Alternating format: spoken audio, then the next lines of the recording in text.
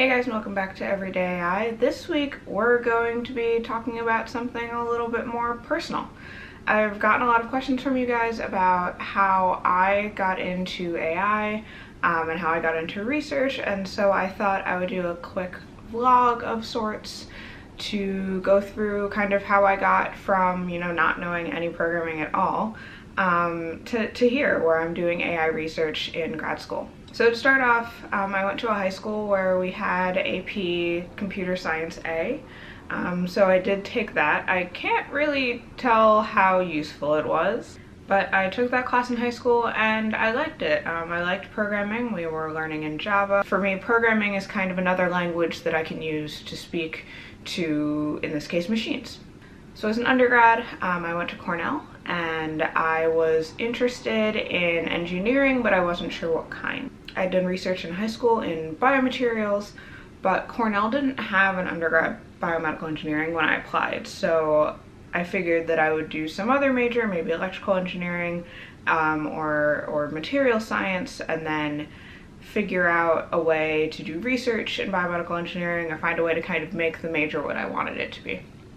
Luckily for me, I got to Cornell and during my, I guess at the end of my freshman year, um, over that summer, when I had been staying on campus to do research in my lab, they announced that there would be a biomedical engineering major and so I was able to pick up that major. One of the benefits of being in the first class is that Cornell has these like distribution requirements um, and there's usually electives within your major and so since we were first we kind of got to pick what we wanted. Um, there wasn't really a formal list yet and so that let me kind of shape my program um, towards the things that I was interested in. Now I mentioned I joined a lab over that first summer and I actually spent three years in a cartilage engineering lab, so nothing to do with machine learning. Um, I was working with biomaterials and material science, um, looking at ways to engineer the meniscus, which is in your knee somewhere during my sophomore year, I think I realized that I was more interested in the data analysis that I'd been doing. We were using CT images, which are kind of medical imaging, um, to analyze some of our samples. And I really enjoyed the analysis that I was doing in MATLAB, um, which was another language that I picked up um, thanks to Alex, the grad student that I worked with, who asked me what languages I knew how to use, which at that time was basically Java, and then told me to do it in MATLAB. Um, so I started taking more programming classes. Um, the, the grad student that I worked with also realized pretty quickly that I was more interested in the computational end of things, and we didn't have a ton of people in the lab doing that. So when I asked to kind of make that pivot, um, it was actually welcomed and I started doing a lot more kind of computational analysis. And if it sounds like I'm being vague, um, for those of you not familiar with the academic publishing system, we actually have a paper that we submitted to a journal which is under review. Um, and so I can't really talk about the specifics um, until it's published because it's not public work yet. So the summer after my sophomore year, um, I kind of pursued that computational and medical imaging path a little bit more. I worked at Novartis with their clinical and translational imaging group um, on a bunch of different data analysis relating to preclinical trials and clinical trials. I was doing software validation for an external company that was looking to partner with Novartis and so I think that that really helped me realize that I was still really interested in data analysis and computation, but I wasn't interested in it in industry, at least not at the entry level. Um, for me, I really enjoyed having that intellectual ownership that you get in academia where you kind of have your project and you work on all different facets of it. And so some parts of it may be computational and some parts of it might not be, but it's all yours. And, and that was something that I really missed so my third summer, I went to Stanford. Um, at Stanford, I wasn't sure I was going to do, so I was an Amgen Scholar, which is a summer research program focused on biomedical research. Um, they gave us our lab assignments about two weeks out. At that time, I had taken zero classes in machine learning, so I got the assignment and I was a little bit surprised. Um, it was definitely a cool looking project, but I had no background in machine learning. Um, and so that was really where I started to learn. So in the two weeks between getting my assignment and going to Stanford, um, I actually took Andrew Ng's Coursera course um, on machine learning and I'll put a screenshot here or put a link in the description box. So I spent that summer at Stanford um, looking at MRI reconstruction using machine learning. We ended up submitting a paper to a workshop at NeurIPS, which is one of the big machine learning conferences.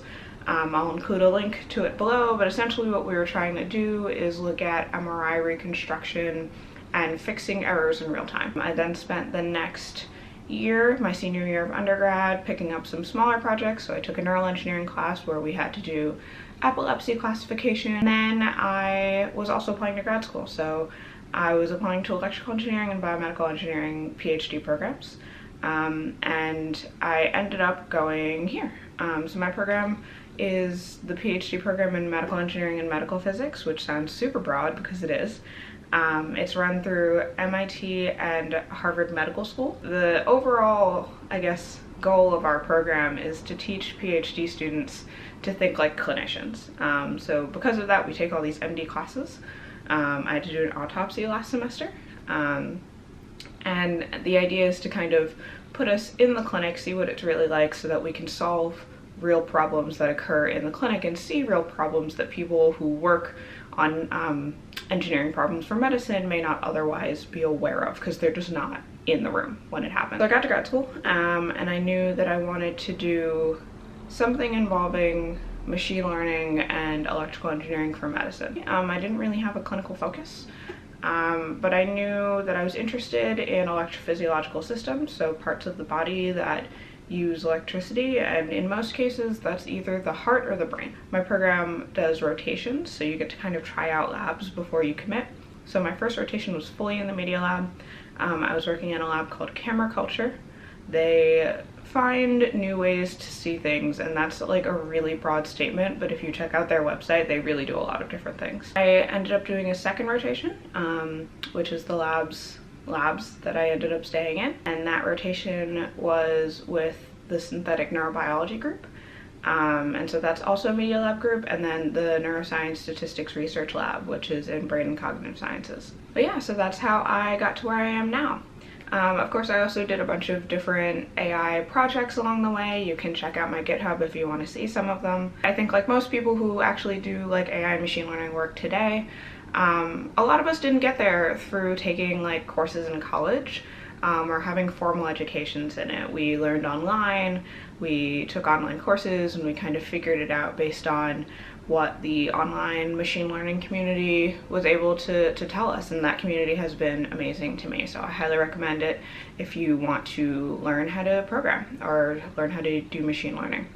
I'll include a bunch of different um, resources that I used and resources that I thought were particularly helpful um, in the description box if you're interested in getting some background in that area.